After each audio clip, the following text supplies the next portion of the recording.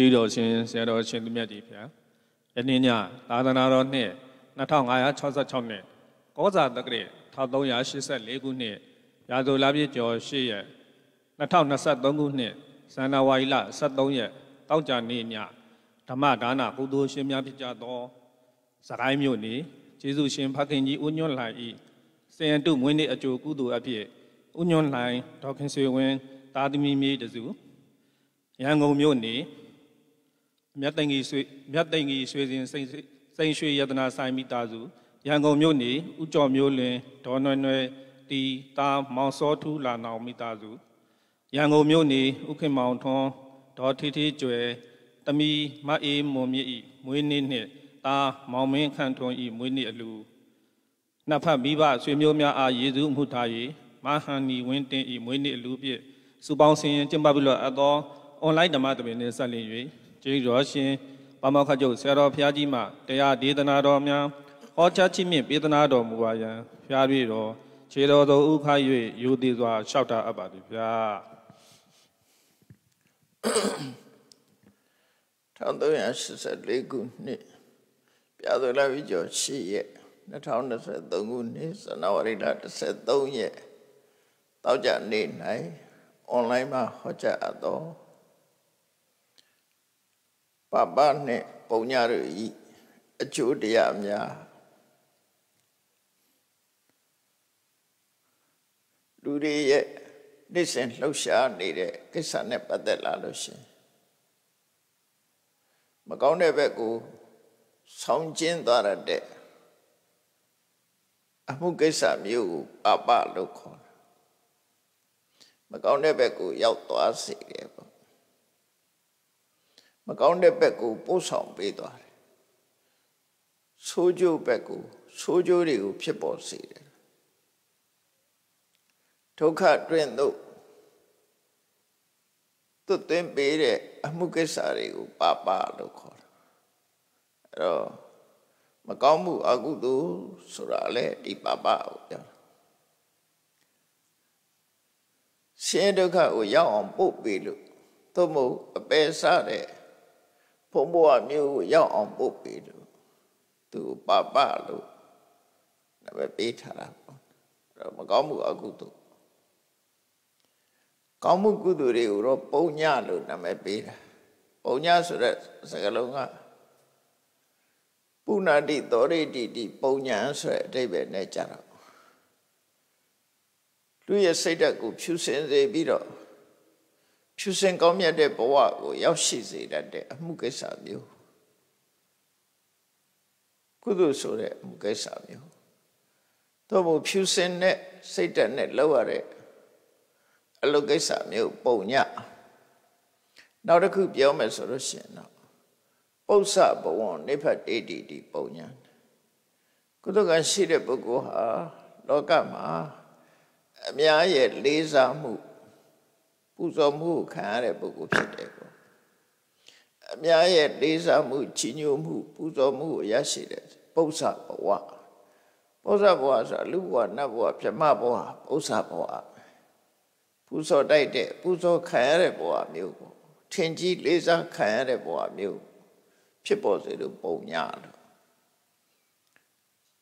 စိတ်ဓာတ်ကိုဖြူစင်ဖြူစင်စေလို့လဲပုံညာလို့ခေါ်တယ်ဖြူစင်တဲ့စိတ်ဓာတ်နဲ့ လှုပ်ဆောင်ရတာဖြစ်သောကြောင့်လဲပုံညာလို့ခေါ်တယ်လူတကာလေးစားမှုအဖြစ်ကိုလူတကာလေးစားတဲ့ဘဝမျိုးကိုရောက်စေတတ်သောကြောင့်လဲပုံညာလို့ခေါ်တယ်လို့မြတ်စွာဘုရားကပုံညာနဲ့ပတ်သက်လာပြီးတော့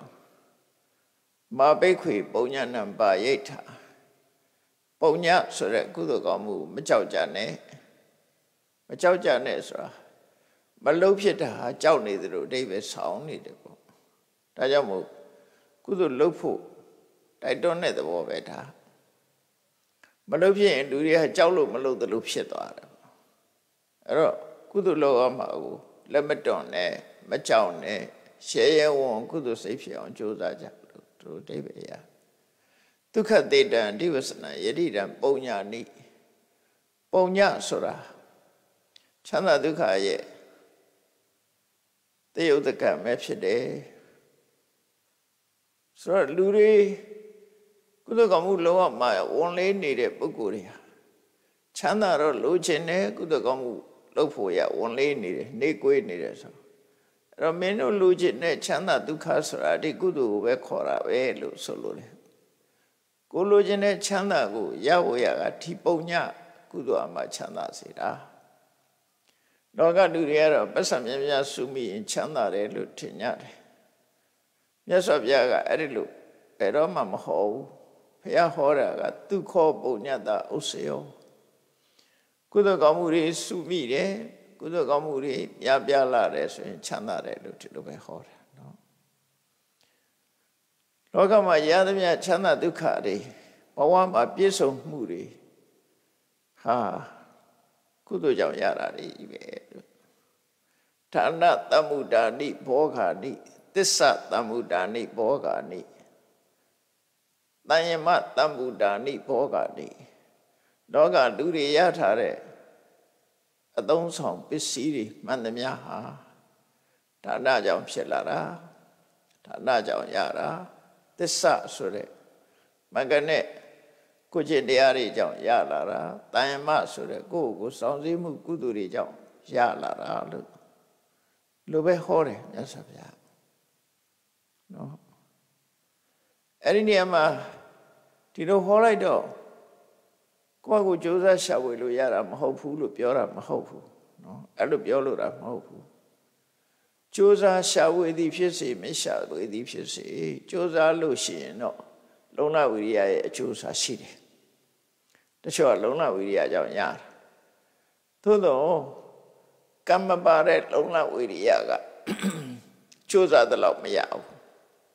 ကြိုးပမ်းအထောက်တော့မရဘူးကံပါလာပြီဆိုလို့ရှိရင်ကံကအကျိုးပေးပြီဆိုရင်လူတွေဟာ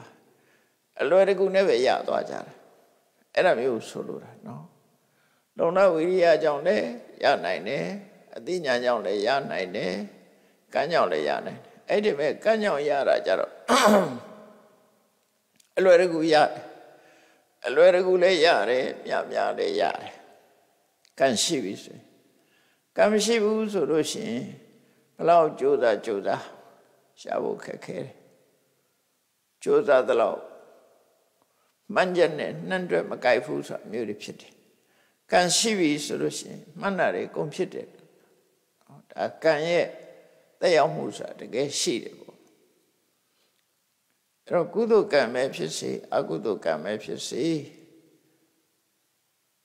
ဘဝကိုနှိမ့်ချသွားစေတဲ့အကုသိုလ်ကံတွေကိုပပ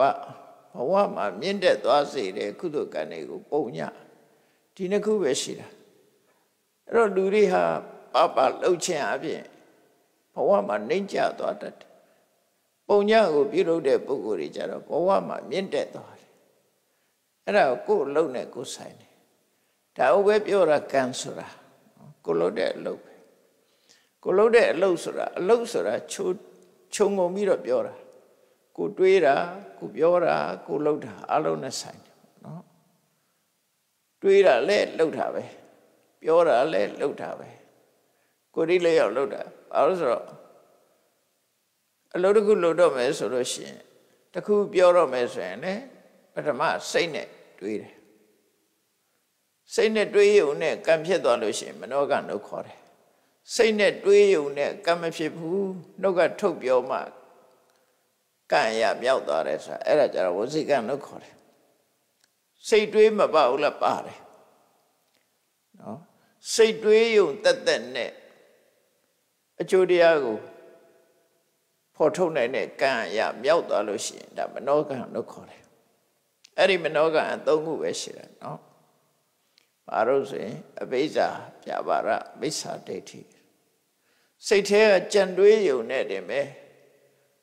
ကံအရာမြောက်သွားတယ်ကံလမ်းကြောင်းနဲ့ရောက်သွားတယ်လို့ဆိုလို့တယ်ဘာလို့ဆိုရင်အဘိဇာသူများရဲ့ပစ္စည်းကိုရယူခြင်းနဲ့လောဘအဖိရှေရှုစာဆိုတာစိတ်ကူးတာသူများပစ္စည်းကို လိုချင်တာကိုပစ္စည်းကိုလိုချင်တာတော့ရိုးရိုးလောဘပဲအဲသူများပစ္စည်းကိုမရချင်တာကြတော့ကံမြောက်သွားတယ်သူကဒီလောဘအဆိုးလောဘဖြစ်တယ်ထို့တူပဲပြာပါဒတာမန်စိတ်ဆိုးတာတော့ဟိုကိုသားကိုသမီးပြောမကောင်းစိတ်ဆိုးတယ်တပည့်သားမီးပြောမကောင်းလို့စိတ်ဆိုးတယ်အဲ့လိုစိတ်ဆိုးမှုတွေဟာတမန်အပြင်ဒေါသဖြစ်တာ ဒီပြာပါဒဆိုတာကြတော့အဲ့လိုမဟုတ်ဘူးလူတယောက်ကို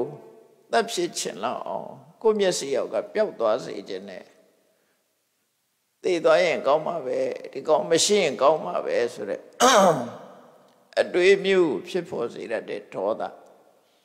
အဲ့ဒီဒေါသကြတော့စိတ်ထဲကစိတ်ကူးယုံနဲ့ပဲကံမြောက်တယ်သူကကံမြောက်တယ်ဆိုတာမျိုးစိဖြစ်သွားတာကိုပြောတာနော်ကံဆိုတာမျိုးစိဖြစ်သွားတာ နောက်မိစ္ဆာဒိဋ္ဌိဆိုတာဘယ်လိုမိစ္ဆာဒိဋ္ဌိပြောတာတော့ဆိုဒီနေရာမှာတက္ကရာဒိဋ္ဌိတို့ဆိုလိုတာမဟုတ်ဘူးမိစ္ဆာဒိဋ္ဌိကကံတရားနဲ့ကံတရားရဲ့အကျိုးကိုညှင်းပယ်လို့ရှိရင်အဲ့ဒါညှင်းပယ်တဲ့စိတ်တက်ပေါ်တာနဲ့တပြိုင်နက်ကံရမြောက်သွားတယ် တော့ကံကိုညှင်းပယ်ကံရဲ့အကျိုးကိုညှင်းပယ်တယ်အဓိကကတော့ကံဤအကျိုးတရားကိုညှင်းပယ်လိုက်ခြင်းအပြင်ကံကိုလည်းညှင်းပယ်ပြီးသားဖြစ်သွားတယ်အကြောင်းတရားကိုလည်းညှင်းပယ်ပြီးသားဖြစ်သွားတယ်ကံကိုညှင်းပယ်တာကိုဟိုအခရိယဒိဋ္ဌိကံဤအကျိုးကိုညှင်းပယ်တာကြတော့နတ္ထိကဒိဋ္ဌိ အကြောင်းတရားကိုညှင်းပယ်တာကအဟိတုကဒိဋ္ဌိနော်ဒါတက္ကရာဒိဋ္ဌိတို့နဲ့မဆိုင်ဘူးပေါ့မနောကံအရာစာပေကျမ်းမှာတော့ဒီအစိုးစုမိစ္ဆာဒိဋ္ဌိကဒီမနောကံရမှာပြတ်တာတယ်မိစ္ဆာဒိဋ္ဌိကကံရဲ့အကျိုးတရားမှန်သမျှကိုလက်မခံတဲ့ ဒိဋ္ဌိနတ္ထိကဒိဋ္ဌိလို့ခေါ်တယ်နတ္ထိက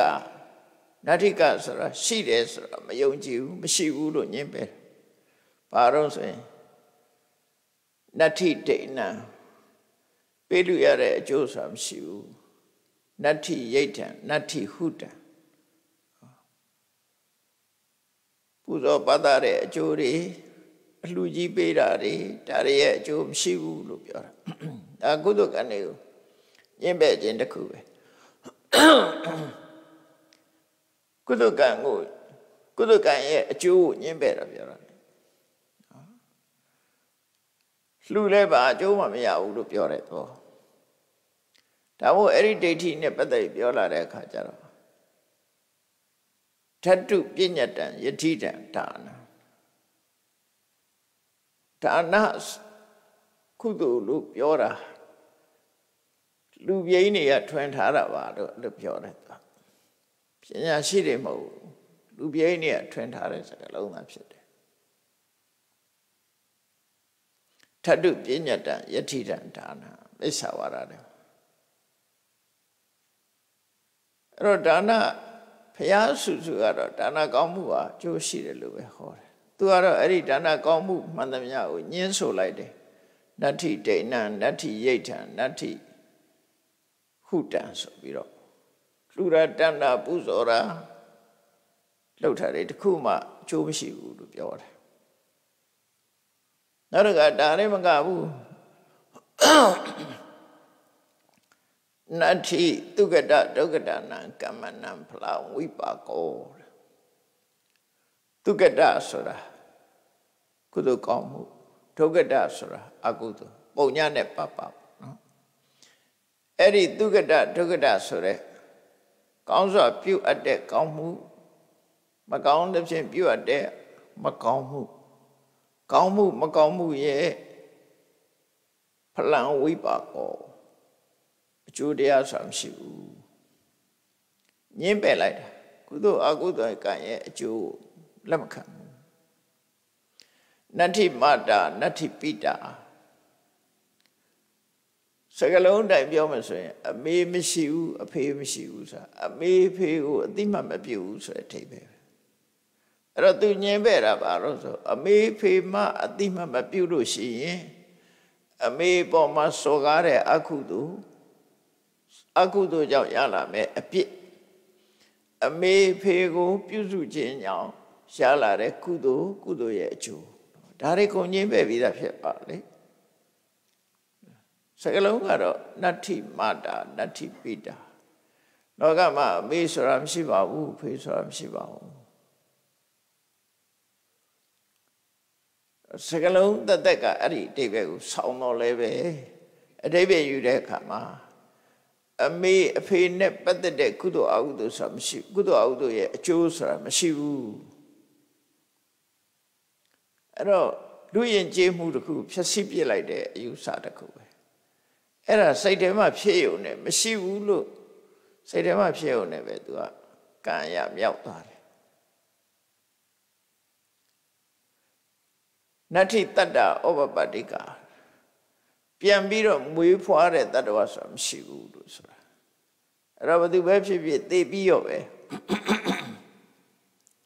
ဥစ္စေရဝါရကိုပြောတာ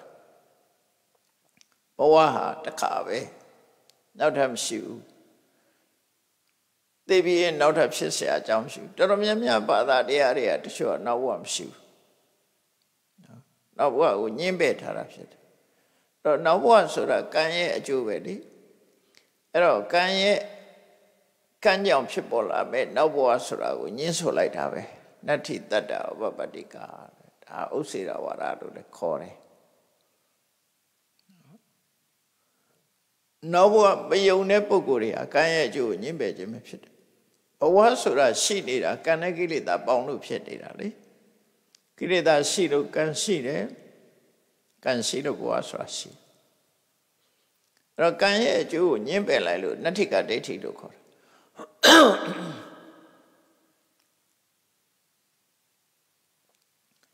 နတ္ထိလောကိသမဏပြမနာတကယ်ကိုလောကကြီးအကြောင်းကို ကြာကြာနာနာသိရှိပြီးတော့လောကရဲ့ဟိုမှန်မှန်ကန်ကန်ကျင့်နေကျင့်ပြီးတော့လောကကြီးအကြောင်းကိုသိမြင်တဲ့ဖရာဆိုတဲ့သမဏပြမနာပုဂ္ဂိုလ်မျိုးတွေမရှိဘူးဒါလည်းအကျိုးကိုညှင်းပယ်လိုက်တာပဲเนาะကောင်းစွာကျင့်ပြီးတော့ဖရာဖြစ်သူရောက်တော့အောင်ကျင့်သွားတဲ့သမဏပြမနာဆိုတာမရှိဘူး ဆိုတော့လုံးသမျှရဲ့အကျိုးတွေမှန်သမျှအကုန်လုံးပယ်ချလိုက်တာ reject လုပ်ထားတယ်ညှင်းဆိုထားတယ်အဲ့ဒါကိုနတ္ထိကဒိဋ္ဌိလို့ခေါ်တယ်နော်အဲ့ဒီမနောကနဲ့မှာပါတဲ့ပိဿဒိဋ္ဌိဆိုတာနတ္ထိကဒိဋ္ဌိကိုပြောတာဘာဖြစ်လို့ तू ကအဆိုးဆုံးဖြစ်ရတော့ဆိုလို့ရှိရင်ကိုလုံးသမျှရဲ့အကျိုးကိုညှင်းပယ်ထားလို့ရှိရင် ဒီလူဟာကောင်းတာလည်းလုပ်မှာမဟုတ်ဘူးကောင်းတာလုပ်ဖို့ဘယ်တော့မှစိတ်ဝင်စားမှာမဟုတ်ဘူးကောင်းတာမလုပ်လို့ရှိရင်သူတခုတော့လုပ်မှာပဲထိတိုင်းတော့နေမှာမဟုတ်ဘူးကောင်းတဲ့လုပ်ရမကောင်းတဲ့လုပ်ရဘယ်အကျိုးမှလက်မခံတဲ့ပုဂ္ဂိုလ်ဒီသူကြိုက်တာလုပ်အဲ့တော့သူကြိုက်တာကိုကြည့်လိုက်လို့ရှိရင် ကောင်းတာကြိုက်တာနည်းလိမ့်မယ်မကောင်းတာကြိုက်အဲ့တော့လူကောင်းဖြစ်ဖို့မရှိနိုင် လူညင်းပဲတဲ့ပုဂ္ဂိုလ်ကလူကောင်းဖြစ်ဖို့မဖြစ်နိုင်ကိုချင်းစာတရားတို့လူကောင်းဖြစ်ဖို့တို့ဆိုတာဒီကံကံဤကျို့လက်ခံတဲ့ပုဂ္ဂိုလ်တွေမှာဖြစ်တာဘာလို့လို့ဆိုရင်အော်ကောင်းတာလုပ်ရင်ကောင်းကျိုးရတယ်မကောင်းတာလုပ်ရင်မကောင်းကျိုးရမယ်ဆိုလူဆိုတာကောင်းကျိုးပဲရချင်တာမကောင်းကျိုးမရချင်အဲ့တော့သူကကောင်းတာပဲလုပ်တော့အဲ့ဒါကိုကလမ်းပွင့်နေတာလေကောင်းတဲ့ဘက်ကိုဥတည်နေတဲ့သဘောပဲအဲ့လိုမဟုတ်ပဲနဲ့ ဘာလို့လို့ဘာအကျိုးမှမရှိဘူးဆိုတဲ့ပုဂ္ဂိုလ်တယောက်ကသူလုံးချင်တာလုံးမှာသူလုံးချင်တာဆိုတာအကောင်းဖြစ်ချင်မှဖြစ်သူလုံးချင်တာမကောင်းတာလည်းဖြစ်ချင်ဖြစ်မယ်ကောင်းတာလည်းဖြစ်ချင်ဖြစ်မယ်ကံကံဤအကျိုးညင်းပယ်ပြီဆိုလို့ရှိရင်ညင်းပယ်ထားတော့လေသူတခုတော့လုံးမှာပဲသိကြတယ်အဲ့တော့မငင်းပယ်တဲ့လူကတော့ကောင်းတာပဲရွေးလို့မယ်ဘာလို့လဲဆိုတော့ ကောင်းတာလုံးမှာကောင်းညွတ်ရမယ်ခံယူချက်ရှိတယ်မကောင်းတာလုံးရင်မကောင်းညွတ်ရမယ်ဆိုတဲ့အသိဉာဏ်ရှိတယ်ဒါကြောင့်မကောင်းညွတ်တော့သူမလို့ချင်ဘူးကောင်းညွတ်တော့သူလိုချင်တယ်ရှုံနာမယုံနာတခြားလိုချင်တာရှိတယ်နော်ကောင်းတာတော့လူတိုင်းကြိုက်တယ်ဒါကြောင့်အဲ့ဒီပုဂ္ဂိုလ်ကကံကံဤအကျိုးကိုလက်ခံတဲ့ပုဂ္ဂိုလ်ကလူကောင်းဖြစ်ဖို့ရအတွက်လမ်းပွင့်ကံကံဤအကျိုးကိုညှင်းဆိုလိုက်ရင်လူကောင်းဖြစ်ဖို့ကိုမရှိဘူး ကာယဘုံရောက်ဖို့မရှိဘူးဒါကြောင့်ဒီဒိဋ္ဌိကိုနတ္ထိကဒိဋ္ဌိလို့ခေါ်တယ်နတ္ထိကဒိဋ္ဌိဆိုတာနိဗ္ဗာန်လည်းမရှိဘူးဘာမှမရှိဘူးလုပ်လို့ရတာတခုမှမရှိဘူးကုန်ငင်းပယ်ထားတာအဲ့ဒါကံဤအကျိုးကိုညင်းပယ်တဲ့မိစ္ဆာအယူဝါဒကိုနတ္ထိကဒိဋ္ဌိအကျိုးကိုညင်းပယ်ခြင်းအပြင်ကံကိုလည်းအတိမတ်မပြုတ်ဘူးဆိုတော့အကရိယဒိဋ္ဌိလို့ခေါ်တယ် ကံတရားကိုအတိမတ်မပြုတ်တာအကရိယဒိဋ္ဌိအကိရိယဒိဋ္ဌိလှုပ်လို့မရဘူးလူတွေထင်တာငါကုသိုလ်လုပ်တယ်လို့လူကထင်တာငါအကုသိုလ်လုံးမိနေတယ်လို့လူကထင်တာကုသိုလ်အကုသိုလ်လို့ထင်နေတာကုသိုလ်အကုသိုလ်ဆိုတာရှိကုန်မရှိဘူးလှုပ်လို့လည်းမရဘူးကရောတောနခရိယတိပပံကရောတောနခရိယတိပုံညာဆိုပူရဏကတ္တဝရဲ့ဝါဒမှာအဲ့တန်ရှိ တယ်ကိုယ်တော့လှုပ်တဲ့ထင်တယ်ဒါပဲလှုပ်လို့မရဘူးရှိမှမရှိတာ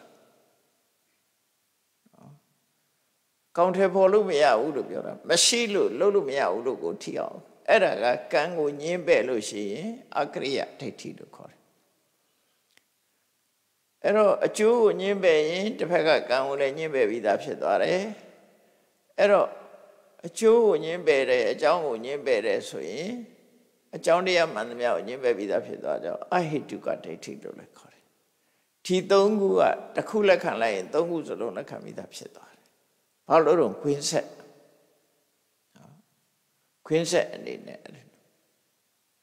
အကရိယဝါဒလောကမှာပွင့်တဲ့ဖရာအဆူဆူမှန်သမျှဟာ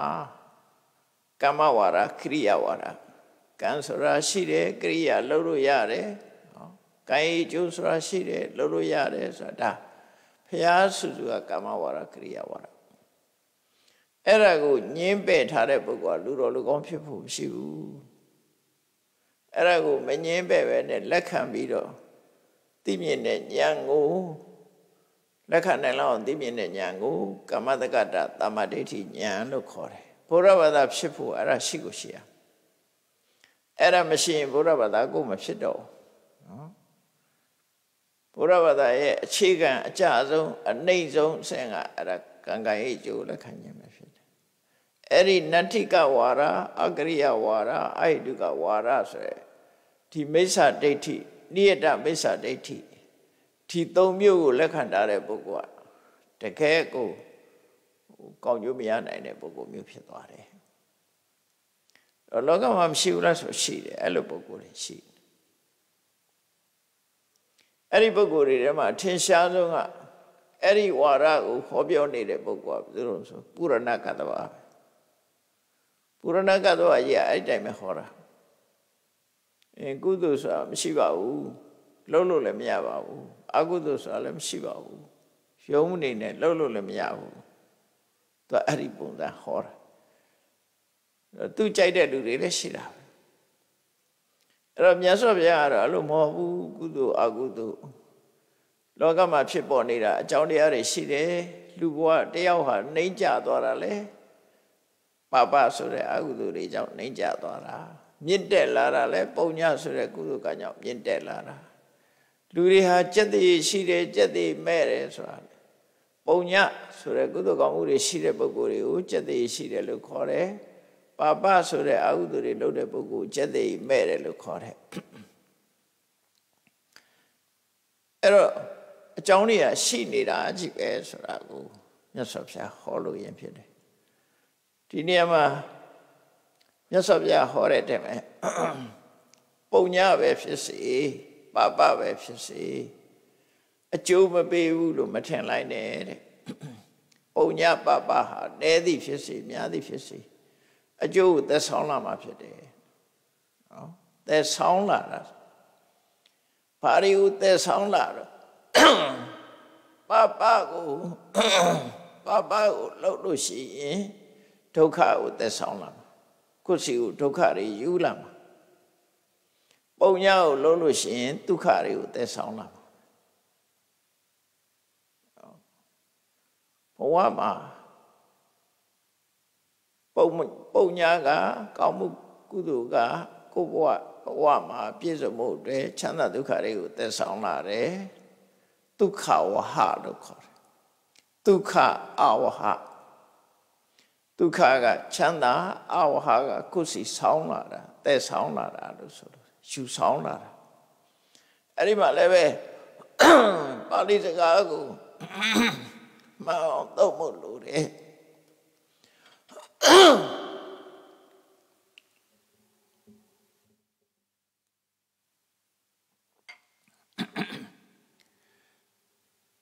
ါဠိဝါရမှာဣဒံမေပုံညာအတဝခယဝဟံဟောတုဆိုတဲ့စကားမှာအတဝခယံဝဟံဟောတုအဲ့လိုမဟုတ်ဘူးအတဝခယဝဟံ ဒီပုံတစ်ခုစတတာအတဝခယအဝဟအဝဟလို့တိပဲရတယ်နော်အဲ့တော့မှားပြီးတော့ထပ်ပြီးတော့မှားလိုက်သေးတယ်ဝဟံဝဟံတော်ဆိုပြီးတော့ထပ်ဆိုတာနှစ်ခါထပ်မှားတာနော်သူကသူရှိတာဝဟံကအမှန်ပဲအဲ့ဒါကိုဝဟံဝဟံတော်လို့လို့လိုက်ပြီဆိုရင်ဒါနှစ်ထပ်ကွာအမှားဖြစ်သွားပြီ ဆိုလိုတာကအဝဟံအတဝေခယဆိုတဲ့အသိဉာဏ်ကိုသက်ဆောင်လာတယ်လို့ဒီလိုပြောဒီကုသိုလ်ကနေသက်ဆောင်လာတယ်အကျိုးပေးတာကိုပြောတာဒုက္ခကိုသက်ဆောင်လာတယ်ဒုက္ခကိုသက်ဆောင်လာတယ်မကောင်းမှုအကုသိုလ်ကဒုက္ခကိုကိုယ်စီယူလာတယ် ကောင်းမှုကုသိုလ်ကဒုက္ခကိုကိုယ်စီယူလာတယ်အကယ်၍အာဝဟံလို့မသုံးမနဲ့ဝဟံဆိုလို့ရှိရင်ယူသွားတယ်ဆိုတဲ့အဓိပ္ပာယ်ရှိတယ်ယူလာတယ်လို့အဓိပ္ပာယ်ရှိတယ်အင်္ဂလိပ်စကားမှာ take နဲ့ bring နဲ့ကွာတယ်လို့ပဲ take ဆိုအဝေးယူသွားတာ bring မှာကိုယ်စီယူလာတာအဲ့ဒီမှာပါဠိစာပေမှာဝဟဆိုလို့ရှိရင်ယူသွားတာအဝဟဆိုမှယူလာတာ အဲ့လိုအဓိပ္ပာယ်ရတယ်ယူလာတာပဲဖြစ်ရမယ်ယူသွားလို့ရှိရင်ကိုယ်စီပါသွားမှာပဲအဲ့ဒါကိုယ်စီကမရှိတာတွေပါသွားမှာကိုယ်စီကအသွဲခဲရမရှိပဲနဲ့အသွဲခဲရတွေပါသွားမှာပေါ့အဲကြောင့်မို့စကလုံးကလည်းပဲမမကန်ကသုံးမှုလိုတာပေါ့နော်အဲ့တော့ဒုက္ခဝဟဒုက္ခဝဟအဲ့တော့ကံကံကြီးကျိုးလက်ခံတဲ့ပုဂ္ဂိုလ်က ကံတရားကိုလည်းလက်ခံတယ်ကံတရားရဲ့အကျိုးကိုလည်းလက်ခံတယ်နှစ်ခုစလုံးကိုလက်ခံအဲ့တော့ဒီမြတ်စွာဘုရားကဒီအကုသိုလ်ဆိုတာကိုလည်းအကျိုးမပေးဘူးဆိုပြီးမထင်အထင်မသေးနဲ့တဲ့ကုသိုလ်ဆိုတာလည်းနည်းနည်းဆိုအကျိုးမပေးဘူးလို့မထင်နဲ့တဲ့ကုသိုလ်ဆိုတာလည်းနည်းနည်းလေးလုပ်လဲအကျိုးပေးတာပဲတဲ့အကုသိုလ်ကလည်းနည်းနည်းလေးလုပ်လဲအကျိုးပေးတယ်ဆိုတာအဲ့ဒါကိုမြတ်စွာဘုရားက အသိဉာဏ်ပေးတာဆုံးမသွန်သင်ပြတာငါစိတ်ထဲမှာမပြောပါတော့တဲ့အကုသိုလ်တွေဖြစ်တာပါလို့မတွေးနဲ့တဲ့အဲ့ဒီအကုသိုလ်ကအကျိုးပေးမှာအဲ့ဒါကိုဟောတော့ဒီနေ့ဇလန်လေးတစ်ပုဒ်နဲ့ကြည့်အောင်ပုံညာနဲ့ပတ်သက်လာတဲ့အခါမှာဖိလာလပါရကတဋ္ဌိဝုထုဆိုပြီးတော့ဓမ္မပဒထဲမှာပါတယ် နော်ပုံညာနဲ့ပတ်သက်လာလို့ရှိရင်နည်းနည်းလေးလေကောင်းကျိုးချမ်းသာပေးနိုင်တယ်ဆိုတာကိုမြတ်စွာဘုရားဟောထားတယ်အဲ့ဒီမှာဖိလာလပါရကဒီစကလုံးရဲ့အထိပ္ပယ်မှန်ကိုသိဖို့လိုတယ်ဒီစကလုံးကတထေးရဲ့နာမည်အရင်မဟုတ်ဘူးပြောင်းပြီးတော့ခေါ်ထားတာနိနေလို့ခေါ်တာပေါ့ နော်ပြောင်းပြီးတော့ခေါ်ထားတဲ့နာမည်သူဆိုတာဒီနာမည်ရင်းမဟုတ်ပေမဲ့လို့ပြောင်းလောင်ပြီးတော့ခေါ်တဲ့နာမည်နဲ့လည်းတွင်တတ်တယ်ပေါ့သူ့ကိုမှတ်တမ်းတင်ထားတာဘိလာလပါရကလို့နာမည်တယ်အဲ့တော့ဘာအထိပ်ပဲလေဘိလာလပဋ္ဌဆိုတဲ့ပုဂ္ဂိုလ်ပါဠိစာပေမှာရှာမယ်ဆိုရင် အဲ့ဒီပဲရှာဖို့ခက်ခဲတယ်ဟိုနေရကနေရကတွေ့တဲ့ပါဠိမျိုးမဟုတ်ဘူးဘီလာရဆိုတာကြတော့ကြောင်ဟောတာရှိတယ်ပါရချီအဲ့ဒီအတိတ်ပဲလို့ထင်ပြီးတော့ကြောင်ချီဆိုပြီးတော့ပြောကြတယ် အမှန်တော့အဲ့ဒီအတိတ်ပဲမဟုတ်ဘူးတရားဘီလာလပဒကနေပြီးတော့ဘီလာလပါဒကဆိုတဲ့စကားလုံးဖြစ်တာဘီလာလပဒဆိုတာတချက်သားပမာဏကိုခေါ်တာဒါတက္ကရာအဖွင့်ကျမ်းနေမှာပါတယ်ပါဠိမှာလည်းပဲနတ်တွေဟာအာဟာရစားတဲ့နတ်တွေကာမဝဆရနတ်တွေကအစာစားကြတယ် ပြမာတွေကြတော့ပိဋိနဲ့ပဲနေတယ်အစာမစားနတ်တွေကြတော့အစာစားတယ်အဲ့ဒီနတ်တွေစားတဲ့နတ်တုတ်တာကိုဘလောက်စားတာလဲလူတွေကြတော့ထမင်းစားရင်တပကံကြီးစားနော်ပေါင်းမို့စားရင်တစ်လုံးလုံးစားကျက်သားကျော်ဆိုတကောင်လုံးစားတယ်လူရှိတယ်အဲ့တော့အတိုင်းအတာဆိုရှိတယ်ဘယ်လောက်စားရလဲဘယ် လောက်စားရလဲဆိုနတ်တွေနတ်တုတ်တာစားတာကအဲ့ဒီနေရာလေးမှာနတ်တွေနတ်တုတ်တာစားတာဘယ်လောက်စားသလဲဆိုတဲ့နေရာမှာဖိလာလပဒပမနိနာတိဝဒန္တိဆိုတဲ့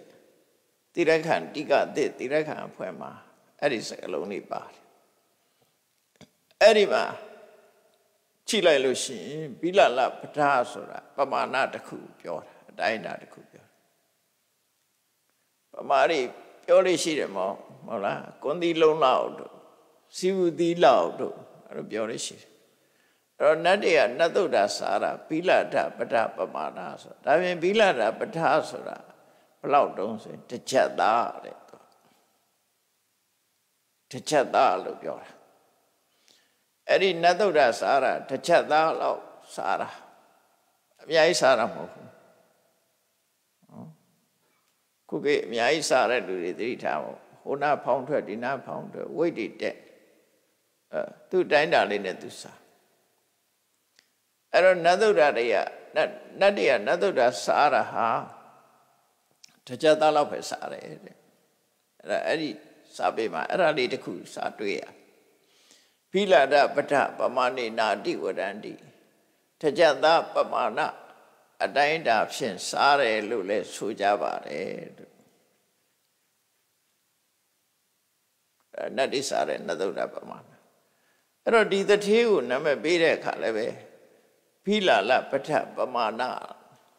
ဖိလာဒပဋ္ဌဆိုတာသူလှူလိုက်တဲ့အလှူတွေစုပေါင်းလိုက်လို့ရှင်တစ်ချက်သားလောက်ရှိလို့ပြောင်းခေါ်တာတစ်ချက်သားအလှူရှင်ကြီးဆိုပြီးတော့အဲ့မှာဖိလာလပါရကတထေးလို့ဒီအိဗယ်ကိုဆိုလိုတာ အဲ့တော့သူ့ဇလန်းကဘယ်လိုတော့ဇလန်းကိုကြည့်အောင်ဒီနာမည်ဖြစ်လာတာဘလို့ကြောင့်ဖြစ်လာလဲဆိုမြတ်စွာဘုရားကတာဝတိမြို့မှာနေတော့ကထူးခြားတဲ့ဒေသနာတစ်ပုဒ်ကိုဟောတယ်လူတုပြိတ္တတော့မြတ်စွာဘုရားဟောတဲ့တရားတွေဟာအကုန်လုံးမှတ်တမ်းတင်တာတော့မဟုတ်ဘူးချိုးဝဲမှတ်တမ်းအခုဒီတာဝတိမြို့မှာဟောတယ်ဆိုတဲ့ ဒီတရားကဘယ်ဘယ်ပိဋကတ်ထဲမှာမှတ်တမ်းတင်ထားမရှိဘူးဒီဓမ္မပဒအထက်ကရာပဲတွေ့တယ်မတွေ့ဘူးเนาะအဲ့ဒါမျိုးပကိဏကဒေသနာလို့ခေါ်တယ်ဟိုနာဟောဒီနာဟောစာပေထဲမှာသိချာတုတ်တန်အနေနဲ့မှတ်တမ်းတင်ထားတာမရှိဘူးအဲ့တော့မြတ်စွာဘုရားဟောပုံကတောဋ္ဌိမြို့မှာလူတွေဟာခုခေတ်လို့အပရ ပရဟိတအသင်းတွေလို့ပဲအသင်းတွေထောင်တယ်ဆွမ်းလောင်းသင်းတို့ဘုံဆောင်လောင်းသင်းတို့အဲ့လိုအသင်းတွေထောင်ပြီးတော့ကုသလုပ်ကြတယ်အစုဖွဲ့ပြီးတော့ကုသကောင်းမှုလုပ်ကြတယ်တန်ဃာတွေကိုဆွမ်းလောင်းတယ်တန်ဃာတွေကိုဆွမ်းကတ်တယ်အဲ့လိုအသင်းတွေအသင်းတွေဖွဲ့ပြီးတော့ဘုရားကိုမှုရှိတဲ့တန်ဃာတွေကိုလှူကြတန်းကြတယ်အဲ့ဒီခေတ်ကဟိုအလှူတန်းဝါသနာပါကြတော့ အနာရဝိတတိယဆိုတဲ့သူ့အိမ်မှာအမြဲတမ်းလှူဝိသခါလည်းသူ့အိမ်မှာအမြဲတမ်းလှူတယ်အနာရဝိတတိယတော့တာဝတိမြို့သားပဲဝိသခါတာဝတိမြို့သူမဟုတ်ဘူးအိမ်အောင်ကြပြီးမှရောက်လာတာအိမ်အောင်ကြမှရောက်တာသူကဗရိယမြို့သူဩအဝေးရရောက်လာတာသူကဝေးရရောက်တာဒီပတိနရီကောသလမင်းကောသလမင်းရဲ့တိုင်းပြည်ကမဟုတ်ဘူးသူက ဖေဝိသရရဲ့တိုင်းပြည်ကဟိုဒေတာချင်းမတူကြဘူးပေါ့နော်အဲ့နောက်မှရောက်လာအဲ့တော့သူတို့ရောက်လာတော့တာဝတိမြို့ကစီကားနေတာဝတိဆိုတာဘာလို့တာဝတိခေါ်တာတော့လို့ဆိုတော့မြို့ရရဲ့နာမည်တွေအားလုံးဟာရှင်းတော့ကယသိတွေကအခါပေးပြီးတည်သွားတာဖြစ်သောကြောင့် မြို့ရရဲ့နာမည်ကိုဥမာမဲကပိလဝတ္ထုဆိုကပိလယသိရဲ့သင်္ကန်းကြောင့်နေရမှာတည်လို့ကပိလဝတ္ထုလို့ခေါ်တယ်ကောတမီဆိုတာလည်းအတူတူပဲနောက်တစ်ခါဒီတာဝဋ္ဌိကြတော့လည်းပဲတဝဋ္ဌဆိုတဲ့ယသိရဲ့နေရမှာတည်လို့တာဝဋ္ဌိလို့လည်းခေါ်တယ်နောက်တနည်းကတော့တာဝတိမြို့မှာအယောင်းဝယ်ကောင်းတဲ့ဘာတွေရှိတုံးဆိုအကုန်ရှိတယ်လို့ပြော အကုန်ရှိတယ်ဆိုတဲ့စကားလုံးကတပ္ပအဋ္ဌိတပ္ပအဋ္ဌိတပ္ပဋ္ဌိအလုံးရှိတယ်တာဝတိမြို့မှာအလုံးဝယ်လို့ရတယ်ကုန်ရှိတယ်အဲ့ဒီကုန်ရှိတယ်ဆိုတဲ့စကားလုံးကနေစပြီးတာဝတိဖြစ်လာတယ်လို့လေဒီလိုအကြောင်းနာမည်တွင်းလာပုံနဲ့ပတ်သက်ပြီးတော့ဖော်ပြထားတာတွေရှိတယ်ပေါ့ဒါကတော့နာမည်ဆိုတာတော့တခုတော့အကြောင်းပြုပြီးတော့ဖြစ်တတ်တာပါပဲ နာမည်ဆိုတာပေးလိုက်တာပါပဲအဲတော်ရိမြို့မှာဘုရားတရင်သုံးတဲ့အခါမှာဘုရားမှုရှိတဲ့တန်ဃာတွေကိုအသင်းဖွဲ့ဖွဲ့ပြီးတော့လူတွေကဆွန့်ကပ်ကြတယ်လှူကြတယ်တန်းကြတယ်ဆွန့်လောင်းတယ်အဲ့ဒီပွဲမှာမြတ်စွာဘုရားကတရားဟောတာအဲ့ဒီဟောတဲ့တရားလေးကဒီပြင်တုတ်တန်နေတယ်မှာဘယ်တုတ်တန်ထဲမှာမပါဘူးဒီထက္ကရာထဲမှာဘ ယ်လိုဟောတော့ဆိုပုဂ္ဂိုလ်လေးမျိုးခွဲဟောတာပုဂ္ဂိုလ်လေးမျိုးခေါ်မှာလောကမှာတဲ့လူတွေလူတယောက်ဟာကိုယ်တိုင်သာလှူပြီးတော့သူများကိုမတိုက်တွန်းတဲ့လူကတယောက်ရှိတယ်နောက်ဒုတိယကသူများတော့တိုက်တွန်းတယ်ကိုယ်တော်ရင်တော့မလှူဘူးကိုကမလှူဘူးသူများကိုတော့လှူပါတိုက်တွန်းတယ်နောက်တစ်ယောက်ကကိုယ်တိုင်လည်းမလှူဘူးသူများလည်းမတိုက်တွန်းဘူး တတိယမြောက်စရုထမြောက်ပုဂ္ဂိုလ်ကတော့ကိုယ်တိုင်လည်းလှူတယ်သူများလည်းတိုက်တွန်းတယ်နော်လေးဦးဖြစ်သွားအဲ့ဒီလေးဦးရဲ့အကျိုးပေးခြင်းထူးခြားပုံကိုမြတ်စွာဘုရားဟောတယ်လို့ဒီမှာဆိုထားတယ်ကိုယ်တိုင်လှူတဲ့ပုဂ္ဂိုလ်ဟာဖြစ်လျက်ဘဝမှာကိုယ်တိုင်လှူခြင်းညဖြစ်နေရဘဝမှာချမ်းသာဒုက္ခချမ်းသာပစ္စည်းဥစ္စာပေါ်များတယ်ချမ်းသာကြွယ်ဝတယ် ခုနဒေသနာတော်မှာဒါနတမ္မှုဒါနိဘောဂနိလူတွေရလာတဲ့အသုံးဆောင်တွေဟာတစ်ချိန်တကတော့ဒါနကောင်းမှုလုပ်လို့ရတာလို့ဆိုတာနဲ့တော့ကြိုက်ဖက်တာနော်လူတို့ရနောက်သူများကိုတိုက်တွန်းတဲ့ပုဂ္ဂိုလ်ကသူများကိုတိုက်တွန်းတဲ့ပုဂ္ဂိုလ်ကအချမ်းရံကိုရတယ်အချမ်းရဆိုတာကိုယ်မှာအတိုင်းဝိုင်းပေါ့နော် တယောက်တည်းနေရတာမဟုတ်ဘူးအချမ်းရအတိုင်းဝိုင်းဖြစ်ပြီးစုံစုံရအဲ့တော့လူချင်းကြောင့်ပစ္စည်းဥစ္စာပေါ်တယ်သူများကိုတိုက်တဲ့ညင်ကြောင့်အချမ်းရရှိတယ်ဟောပဲသာသမီတွေထွန်ကားတယ်ချွေရန်သစ်ပဲနေပေါ်တယ်ပေါ့အိမ်အတိုင်းဝိုင်းနေပေါ်တယ်ပေါ့တချို့ကျတော့ဘက်ဆန်တော့ချမ်းသာတယ်အတိုင်းဝိုင်းမရှိချဘူးတကောင်ကျက်တမျက်နာဆိုလို့ဆွေမျိုးသားချင်းလည်းနဲတယ် မိသားစုလည်းနဲတယ်ဘူးမှမရှိဘူးဆိုတာလေရှိတာပဲလောကကြီးမှာအဲ့ဒါကိုမြတ်စွာဘုရားဟောလိုက်တာလောကမှာအဲ့တဲ့လူတယောက်ဟာကိုယ်တိုင်တော့လှူတယ်တဲ့သူများမတိုက်တွန်းဘူးဆိုရင်အဲ့ဒီပုဂ္ဂိုလ်ကဖြစ်ရဖြစ်ရဘာချမ်းတော့ချမ်းသာတယ်ဒါပေမဲ့သူချမ်းရနဲတယ်ချမ်းမရှိဘူးအဲ့လိုဟောတာနောက်လူတယောက်ကတော့သူများတော့တိုက်တွန်းတယ်အကိုကြတော့မလှူဘူးဆိုတဲ့ပုဂ္ဂိုလ်ကြတော့ ဩသားရိသမီးတွေခြံရနေတော့များပါရဲ့ပတ်စံမရှိဘူးကိုဒီကိုယ်တိုင်မလှူသည့်အတွက်ကြောင့်သူကစီးစိမ်ဥစ္စာအသုံးဆောင်ပစ္စည်းနဲတယ်ဒီလိုဆိုလို့လေနောက်တယောက်ကတော့ကိုယ်တိုင်လည်းမလှူဘူးသူများကိုလည်းမတိုက်တော့ဘူးဆိုတဲ့ပုဂ္ဂိုလ်ကတော့သူများပေးတာကဏ္ဍလေးနဲ့စားနေရတဲ့တရောင်းစားဘဝပေါ့ကိုယ်တိုင်မလှူလို့ပစ္စည်းဥစ္စာလည်းမရှိဘူး တရောင်းစားဖြစ်နေလို့တရောင်းစားမှာအဖို့မဲ့နေအဲ့လိုဆိုလို့တယ်နောက်တစ်ခါကိုယ်တိုင်လဲလှူတယ်သူများကိုလည်းတိုက်တွန်းနေဆိုပုဂ္ဂိုလ်ကြတော့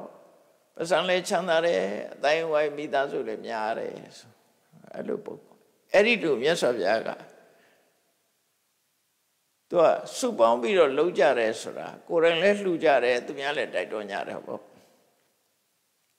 ဒီတရားမျိုးဒီဒေသနာအဖဲမှာပါလဲလို့ လိုက်ရှာလို့ရှင်ပိဋကတ်ထဲမှာပါဠိတော်စရင်ထဲမှာစာအုပ်တွေထဲမှာရှာလို့မတွေ့ဘူးဒါထက်ကတာထဲမှာလာတွေ့တယ်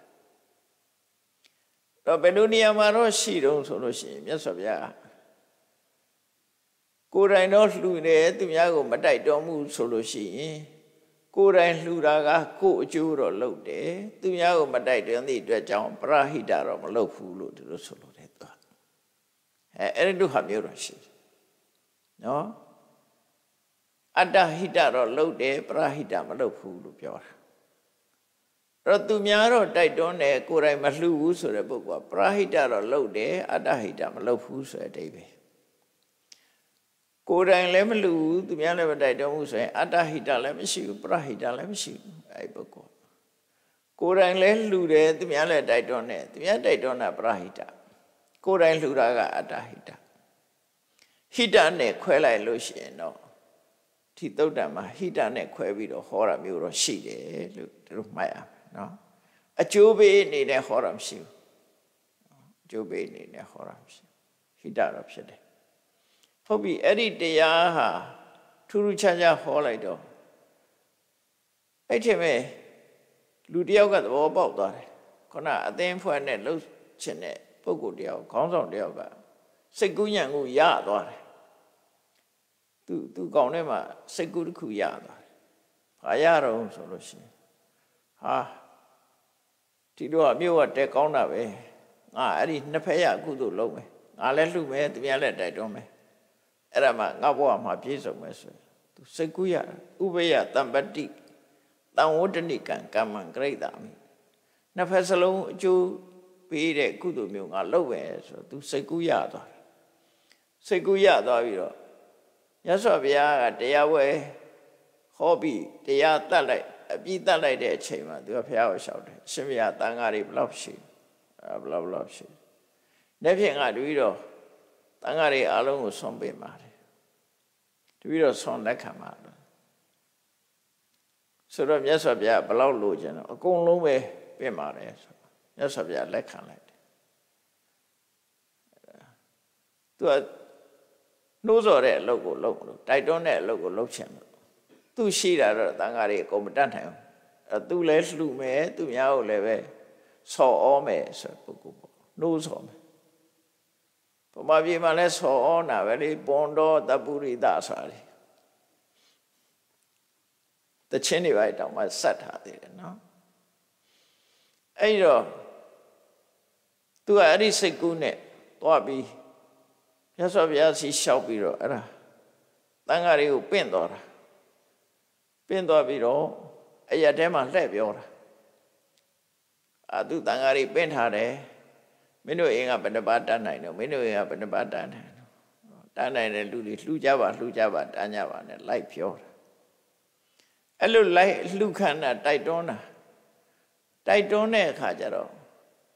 စေရနာတရာတရားထက်တန်ပြီးတော့ကုသိုလ်ကောင်းမှုလုပ်ချင်တဲ့လူတွေကတော့လက်ခံကြတာပေါ့အဲ့ဒီမှာလူတယောက်ကသူလုံးနေတာကိုကြည့်ပြီးဒီလူကကိုတန်းနိုင်တဲ့လောက်မပဲ့မဲနဲ့အကုန်လုံးပဲ့ပြီးပြီးတော့မှသူများလိုက်လှူခံရမလားလို့ဒေါသဖြစ်တယ်သူများလှုပ်တဲ့အပေါ်မှာသူဒေါသဖြစ်တယ်ဒါမျိုးတော့ရှိတယ်နော်လောကကြီး ဒီလူကရှားရှိတယ်ပေါ့နော်လူစွာလုံးတယ်ပေါ့ကိုမတတ်နိုင်ဘဲနဲ့ပြင်ပြီးတော့သူများလိုက်အလှခံနေတယ်အဲ့ဒါလို့စိတ်ထဲမှာဖြစ်ပြီးတော့သူကဆေးဆိုင်ပိုင်ရှင်ဆေးထဲမှာလှဲ့လူခံတဲ့အခါသူဆိုင်ရှေ့ရောက်တော့တမင်ရွဲပြီးတော့သူကဘာလုပ်တော့ဆို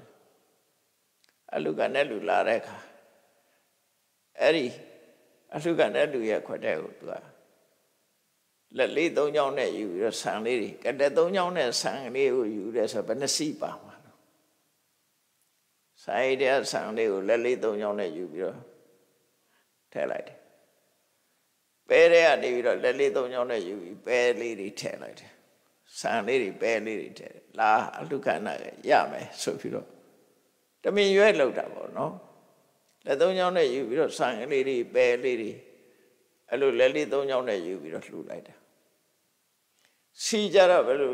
အားလုံးဆိုရှူခဲ့ပါဆိုပြီးတော့စီကိုစောင်းပြီးတော့ထောင်းကလေးကနေပြီးတော့10 10 20 30လောက်ချပေးလိုက်အဲ့လိုလူကလည်းရှိသေးတယ်နော်အဲ့လိုလုပ်တော့ခုန organize လုပ်တဲ့ပုဂ္ဂိုလ်ကသူကစိတ်ကောင်းရှိတယ်ဒါ သူလှူတဲ့ဆံကလေးသူလှူတဲ့ပဲစီလေးတွေကိုသေးသေးချာချာခွဲပြီးထည့်သွားတယ်စီလေးလည်းသေချာခွဲထည့်သွားတယ်ခွဲထည့်တော့ဒီလူကစဉ်းစားတယ်ဒီကောင်ငါမဟုတ်မတရားလူချားထဲမှာရှက်ခွဲမလို့လားအတွေ့တစ်ခုဝင်လာတယ်သူတပည့်တယောက်ကိုလွတ်ထားတယ်ထောက်လိုင်းရေးလွတ်ထားတယ်ဒီကောင်တော့လိုက်ချီအဲ့ဒီပြောလေလူချားတဲ့ငါမြရှက်ခွဲမလို့လားလိုက်သွား သူဘာလို့တော့ကိုမှတ်ခဲ့ဆိုလွတ်လိုက်တာလူဆိုတာခုခေတ်မှာမဟုတ်ဘူးလူဆိုတာလူပဲလေကောင်းတဲ့လူလည်းလူကောင်းတာပဲမကောင်းတဲ့လူလည်းမကောင်းတာအဲ့လိုလိုက်လွတ်လိုက်တာအဲ့ဒီမှာသူလှူတာလေးတွေကိုချိပြီးတော့သူလှူတဲ့အလှလေးတွေကိုတနေ့တစ်ခုတည်းစုလိုက်တဲ့အခါမှာအလုံးပေါင်းလိုက်တဲ့အခါမှာသူကနှမ်းလေးတွေပဲလေးတွေကုန်မောလေး အဲ့ဒီအကုန်လုံးစုပေါင်းလိုက်မှတစ်ချက်သားလောက်ရှိတယ်သူများတို့တောင်းနဲ့ပြည်နဲ့လှူတာမဟုတ်ဘူးတစ်ချက်သားလောက်လေးလှူတာဟို organize လုပ်တဲ့ပုဂ္ဂိုလ်နှိုးဆော်တဲ့ပုဂ္ဂိုလ်သေချာသီးသန့်ခွဲပြီးတော့ယူသွားတယ်အဲ့ဒီကစပြီးတော့သူ့ကိုပြောင်ပြီးတော့ခေါ်ကြတာဘိလလာပါရကလို့ဆိုပြောင်းခေါ်တာအဲ့ဒါတကြသားလှူရှင်ကြီးပေါ့သူကလည်းပြောင်လောက်တာလေရွဲ့လောက်တာလေအဲ့ဒါကြောင့်သူ့ကိုဒီနာမည်ပေးတာဆိုအဲ့ တော့ဒီနာမည်ရဲ့အတိတ်ပဲအဲ့ဒါအတိတ်ပဲရတယ်နော်တကြသားနည်းနည်းလေးလှူလို့အဲ့လိုပြောတာအဲ့တော့ခုနက organize လုပ်တဲ့လူကစောနေဟင်းနေချက်ချက်ပြီးတော့သူလှူတဲ့ဆံကလေးကိုထမင်းအိုးထဲမှာတစည်းစီကုန်ထည့်ပေးတယ်ပဲလေးတွေလည်းသေချာထည့်ပေးတယ်ပဲပြုတ်တဲ့ထဲမှာနန်းလေးတွေလည်းသေချာဖြူပေးတယ် စီလေးလည်းသူလှူလိုက်စီလေးကိုခုနထည့်ပေးတယ်အလုံးအိုးအိုးစီအောင်လိုက်ထည့်ပေးလိုက်တယ်အဲ့ဒါကိုလည်းချိနေတော့သိတယ်ဟိုကောင်နော်အလုံးခွက်တွေထဲမှာအကုန်ထည့်အဲ့ဒါကိုတွေ့တော့သူထောင်လိုင်းရေးလွတ်ထားတဲ့သူ့ရဲ့တပည့်ကပြန်ပြောတာအာဆရာဆရာလှူတာတွေကိုဘာမှတော့မပြောဘူးစံစည်းလေးကလည်းထမင်းဦးထဲမှာအကုန်ပါတယ်ဆရာလှူတာတွေကို ပဲလေးလည်းပါတယ်နှမ်းလေးလည်းပါတယ်အကုန်လုံးအိုးမှန်သမျှကိုဆရာဟာတွေကထည့်ပေးတယ်သူကအဲ့တော့ဟိုလူကတထေးကစဉ်းစားတယ်အင်းဒီကောင်ငါမြရှက်ခွဲမလို့လားဆိုပြီးဆွန့်ကတ်တဲ့အချိန်မှာသူကတမြောင်ကိုဖွက်ပြီးတော့ရှုပြီးတော့အဲ့စီသွားတာလူကြားထဲမှာရှက်ခွဲရင်ဒါနဲ့ထိုးတာမသူက အဲ့လောက်ထိအောင်သူစိတ်ထဲမှာရှိတယ်လိုက်သွားတာအဲ့တော့ဖျားမှုရှိတဲ့တန်ဃာတွေကိုအကုန်လုံးဆွန့်ကတ်ပြီးတဲ့အခါမှာခုန organize လုပ်တဲ့ပုဂ္ဂိုလ်ကဖျားကိုလျှောက်တယ်ရှင်ဗျာမနေ့ကရှင်ဗျာတရားနာပြီးတဲ့နောက်မှာတပည့်တော်စိတ်ကူးရလို့လူတွေကိုနှိုးဆော်လိုက်တာဗျာတဲ့တချို့ကလည်းတောင်းနဲ့လှူပါတယ်တချို့ကလည်းခွက်နဲ့လှူပါတယ်တချို့ကလည်းကိုတတ်နဲ့တော့လှူကြပါတယ်အလုံးဟာ နေမြမဆိုလှူကြတန်းကြတာအဲ့ဒီလှူတဲ့ပုဂ္ဂိုလ်တွေဟာရာသည်ဖြစ်စေနေသည်ဖြစ်စေသူတို့ကညီလူညီမြအကောင်းကျိုးချမ်းသာတွေရပါစေဖေဟာလို့ပြောရှောသူကခွဲပြောနော်အလုံးကုသိုလ်ပါဝင်တဲ့ပုဂ္ဂိုလ်တွေဟာကောင်းကျိုးချမ်းသာတွေအကုန်ရပါစေလို့သူတို့လှူသမျှတွေအကုန်လုံးရပါစေနော် လက်ဒီသုံးချောင်းနဲ့လှူတယ်လှူလဲကောင်းကောင်းကျိုးချမ်းသာတွေအပြည့်ရပါစေလို့နာမည်မပြောဘဲနဲ့ရေပုံရနဲ့ပြောလိုက်တာသူကလှူတာဖျားတဲ့တောင်းနဲ့လည်းလှူတဲ့လူရှိတယ်လက်ကလေးနဲ့ထဲတဲ့လူလည်းရှိတယ်စွန်သေးသေးလေးနဲ့ကော်ထဲတဲ့လူလည်းရှိတယ်ပေါ့အလုံးဟာညီတူညီမျှကုသိုလ်ကောင်းမှုတွေရကြပါစေလို့အဲ့လိုပြောလိုက်တဲ့အခါကျတော့ခုနလူရဲ့ခေါင်းထဲမှာပူးထူသွားတယ်ဟာတကယ်သူတော်ကောင်းပဲ ငါမြအဆက်ခွဲမလားလို့ဒါဓာတ်ကိုဖွဲ့ယူလာတာဓမြောင်ကိုဖွဲ့ယူလာတာအကယ်၍အဆက်ခွဲတော့အဲ့ဒီနေရာပါပဲဒီလူဒါနဲ့ထုံးသူကအဆက်မခွဲပဲနဲ့အားလုံးညီတူညီမျှရပါစေဆိုတော့တကယ်သူတော်ကောင်းပဲဆိုပြီးအဲ့နာရင်ထိုင်ဝတ်ချသူကထိုင်ဝတ်ချပြီးတော့သူ့အကြောင်းဖွင့်ပြောတော့ပေါ့နော်အဲ့ဒါနဲ့မြတ်စွာဘုရား ကမေးတဲ့အခါဒီအကျိုးအကြောင်းတွေကိုဘုရားလျှောက်တာဘုရားလျှောက်တာလျှောက်တော့မြတ်စွာဘုရားဟုတ်သလားအဲ့လိုလုပ်တယ်ဆိုဟုတ်ပါတယ်အဲ့ဒီမှာဒါကိုခေါ်တာဒီစကားကိုခေါ်တာမာဝပိညိထပုံညတနမန္တအာဂမိတတိဥရဘိနုနိပါဒေနဥရကုံဘောပိပုရတိထီရောပုရတိပုံညတထောကံထောကံပိအာစိနနော်မြတ်စွာဘုရားက အဲ့ဒီနေ့မှာအထူးတတိသူ့ကိုကြောင်းပြုပြီးဟောတာကုသိုလ်ကောင်းမှုဆိုတာတဲ့ငါနည်းနည်းလေးလှူလို့ငါအကျိုးမရဘူးလို့မအောင်မေးပါနဲ့ထင်မသေးပါနဲ့တဲ့ကုသိုလ်ကောင်းမှုနည်းနည်းလေးလှူလဲအကျိုးရပါတယ်အဲ့ဒါဝေလမသုတ်တံမှာလည်းမြတ်စွာဘုရားအဲ့လိုခေါ်တာရှိတယ်တာဝတိကအနာရဝိတတိကြီးကိုခေါ်တဲ့အခါမှာ အနာရဝိတ္တရေကြီးကဆင်းရဲသွားဦးတယ်စေရွန်ကြောင်းကြီးဆောက်တော့မြေဝဲတာနေမယ်18ကလေးကျောင်းဆောက်တာက18ကလေးကျောင်းလွတ်ပွဲကြီးကျင်းပတာက18ကလေး54ကလေးကုံသွားတယ်အဲ့ဒါကတခုငွေတွေတားသုံးလိုက်တယ်နောက်ပြီးတော့နေစဉ်နဲ့လှူတန်းစီးပွားကတော့သူကလုံနေတာ နာရဝိတ္တိဘာစီးပွားလုပ်တာတော့ဆိုစိုက်ပျိုးလုပ်တယ်နွားမွေတယ်နော်ဆိုင်ရည်သမားတွေစိုက်တယ်သူ့အလုပ်သမားတွေနဲ့နွားတွေမွေးတယ်နွားနို့တွေထောပတ်တွေအဲ့ဒါတွေချက်တယ်ရောင်းတယ်ဒါသူစီပွားရေးပဲပြီးတော့ကုံရောင်းကုံဝယ်လုပ်တယ်တာဝတိရထွက်တဲ့ကုံတွေကိုသဲပြီးတော့ရာဇဂျုသွားရောင်းတယ်ရာဇဂျုကကုံတွေသဲပြီးတော့တာဝတိပြန်ရောင်းတယ်ကုံရောင်းကုံဝယ်ပဲ ဒါမှမဟုတ်သူကရာဇဂျုကတထေးရဲ့နှမကိုယူထားတာသူကဟိုသွားလဲအဆင်ပြေတယ်ရာဇဂျုတထေးကသူ့နှမကိုယူထားတယ်အဲသူတို့ကအပြန်လှန်နော်မောင်းလဲနှမလဲအိမ်အောင်ပြုတ်ထားကြတာရာဇဂျုတထေးတာဝတိကသူတတ္တဆိုတဲ့အနာရဝိတထေးတို့ကဟိုသွားရင်ဟိုလူကအခန့်ဒီလာရင်ဒီလူကအခန့် အဲ့လိုလက်တွဲချိတ်ထားတာအယောင်းဝယ်ကိစ္စတွေမှာအဲ့ဒါပို့ပြီးတော့ရောင်းရေးဝယ်ရေးရှင်းပြေတယ်ပေါ့သူတို့သို့တော့နာရဝိတထေးကြီးမှာသူသိမ့်ထားတဲ့မြုပ်နှံထားတဲ့ငွေကြေးတွေရှေးတုန်းကတော့သိမ့်စေရပန်းဆိုတာမှမရှိတာမရှိတော့ဘာလို့တုံးဆို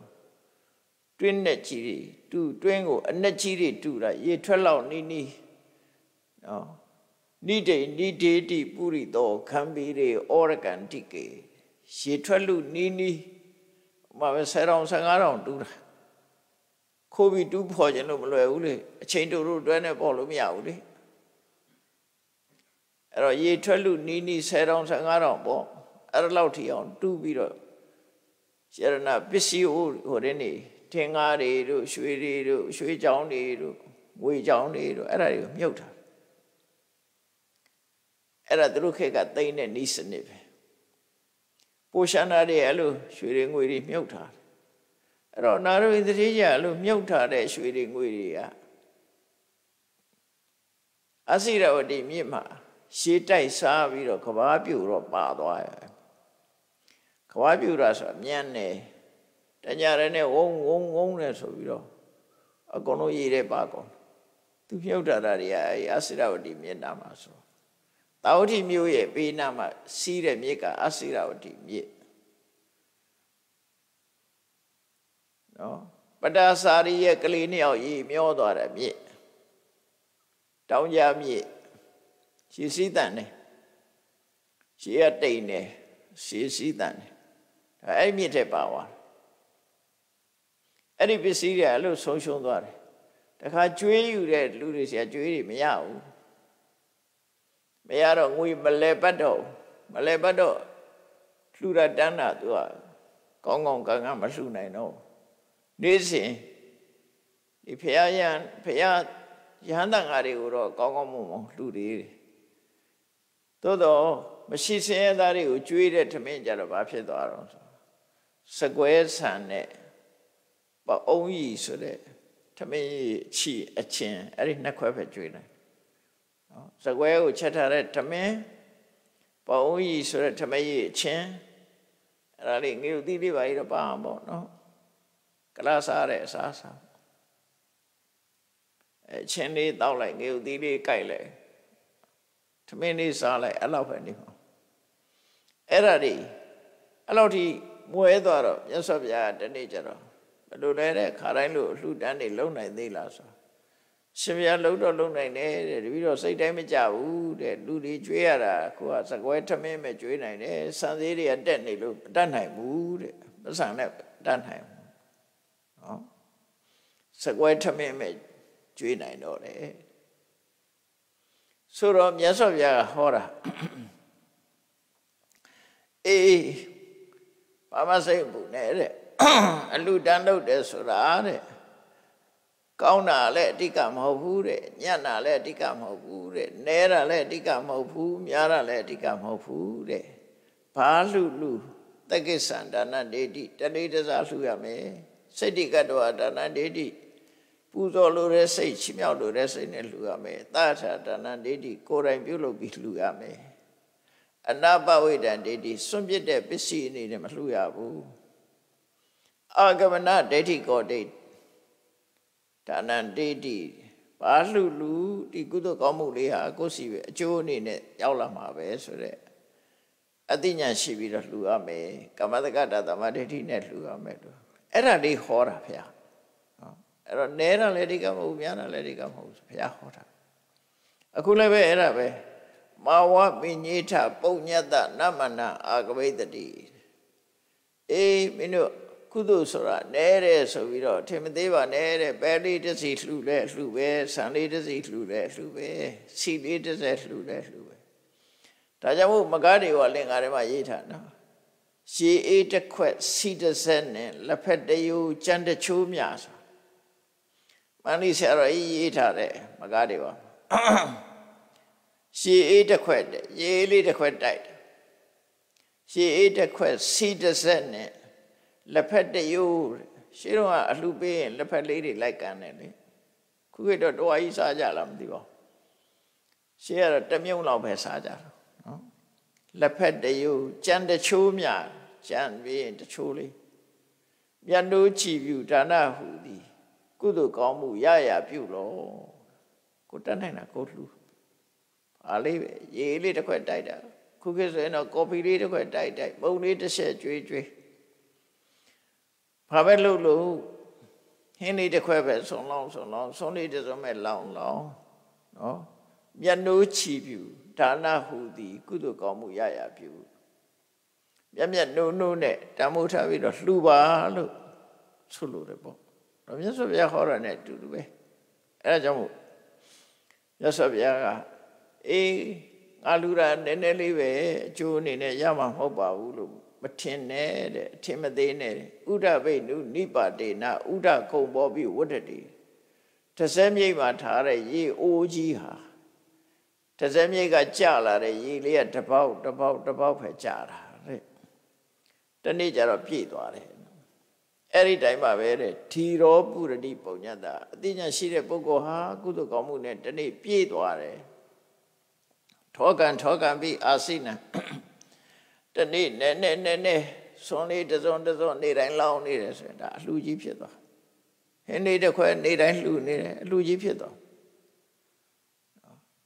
ကိုလုံးတဲ့အလုပ်လေးဟာနည်းနည်းလေးလှူတာပဲမဲ့လို့များလာတယ်ကြားတဲ့အခါမှာအများကြီးဖြစ်လာတယ်လို့တမိုးအဖြစ်လည်းအများကြီးဖြစ်လာတယ်ပေါ့နော်တနေ့တစ်ချက်ဖို့လှူတဲ့တနေ့ဆိုတဲရမှာမဟုတ်နဲ့နော်ခုခေတ်တော့တစ်ချက်ဖို့တော့မရှိတော့ဘူးထင်ပါတယ်အဲ့ဒါတော့ အဲ့လိုကုသိုလ်ကောင်းမှုလှုပ်တာဒီလိုတမှုရှိတယ်ဆိုတဲ့အကြောင်းအထင်မသေးနဲ့ဆိုတဲ့အကြောင်းမြတ်စွာဘုရားကဟောတာအဲ့ဒီတရားကိုနားဆိုင်ထောင်ပြီးတော့ခုနဘိလလပတကပါရကဆိုတဲ့တတိဘိလလပတပမာနေနတရာတိတိဘိလရပါရကောဘိလရပတဆိုတဲ့အတိုင်းတာဖြင့်စံပဲစသည်ကိုလှူတဲ့တတိပေါ့နော်အဲ့ဒီတတိဟာ သောတပန်ဖြစ်သွားတယ်တရားနာရင်နာရင်သူကဝန္တပိတိဖြစ်သွားတာလှုပ်တော့ကတော့ရွဲ့လှုပ်တာပဲသူကရွှဲလှုပ်ပြီးမလို့ဘုရားကတဲ့ပေးလိုက်တဲ့အခါကျတဲ့သွားတာပေါ့နော်အဲ့ဒီအချိန်မှာရွဲ့တဲ့စိတ်မရှိတော့သူ့ပြစ်သူမြင်ပြီးတော့သူကဝန္တပိတိဖြစ်လိုက်တယ်အဲ့ဒါနဲ့ပဲသူဟာမြတ်စွာဘုရားဟောတဲ့တရားဓမ္မတွေကိုသိပြီးတော့တတ္တပံဖြစ်သွားတယ်လို့ဒီလိုဆိုတယ်အဲ့တော့ မတ္တနာယူရမှာတော့ကုသိုလ်ကောင်းမှုဆိုတာဘလောက်ပဲနည်းနည်းရေးချီဆုံးကနဲတာများတာအဓိကမဟုတ်ဘူးစေရနာဟိုမျက်မျက်နှုံနှုံရိုးရိုးသေးသေးလေးလေးဆဆလှုပ်ဖို့အရေးကြီးတယ်ပူဇော်လိုတဲ့စိတ်ချီးမြှောက်လိုတဲ့စိတ်နဲ့လှူဖို့အရေးကြီးတယ်ကိုယ်တိုင်လှူဖို့အရေးကြီးတယ်ကံကံရေးကျိုးဆိုတာရှိတယ်ဆိုတာယုံကြည်ချက်နဲ့ဟိုသိမြင်တဲ့အသိဉာဏ်နဲ့လှူဖို့အရေးကြီးတယ် ဒီလိုဆိုလိုတာပေါ့နော်အဲ့တော့ဘာပဲလှူလှူအများကြီးလှူတော့မလှူမဟုတ်ဘူးလှူတာလှူနိုင်တယ်ဆိုတဲ့အကြောင်းကိုမြတ်စွာဘုရားဟောတဲ့အတိုင်းနိုင်ယူမှတ်သားပြီးတော့မိမိတို့ဘဝမှာကုသိုလ်ကောင်းမှုရရပြုဆိုတဲ့အတိုင်းရှာနိုင်တဲ့များကုသိုလ်ကောင်းမှုပြုလုပ်ခြင်းအပြင်ဘဝတန်တရားမှာဆင်းရဲမွဲတေတဲ့ဘဝကလွတ်မြောက်နိုင်တယ်လို့မတ္တနာယူပြီးကြိုးစားအထောက်နိုင်ကြပါစေကုန်သတည်း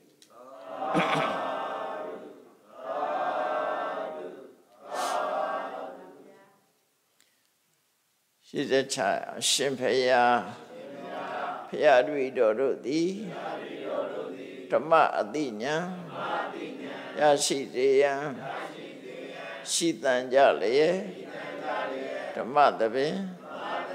ဆင်ခြင်းပါပြုလို့ကြ၍အမတဒါန ဓမ္မဒါနတရားလှူတော်ကိုပေးလူကြပါကုန်၏တရားတော်မြတ်ကိုရှုသိလေးမြတ်စွာမမတ်သားသာအာယုန်ထားလျက်နာကြားကြပါကုန်၏တရားတော်မြတ်ကိုတတ္တဗဝတ္ထုစုစုတို့ဖြင့်ပူ ဇော်ကြပါကုန်၏ယနေ့ယခုအထုပ်ပြုလုပ်ကြရသောဤကောင်းမှုဤကုသိုလ်စုစုသည်နိဗ္ဗာန်ချမ်းသာ၏အကြောင်းထောက်ပံ့ဖြစ်ပါစေတည်းဤကောင်းမှုဤဖို့ပါကကိုအမိအဖအဖို့ဖွာ ဆွေမျိုးညတိတို့အားကုသိုလ်အမြဝေငှပါကုန်၏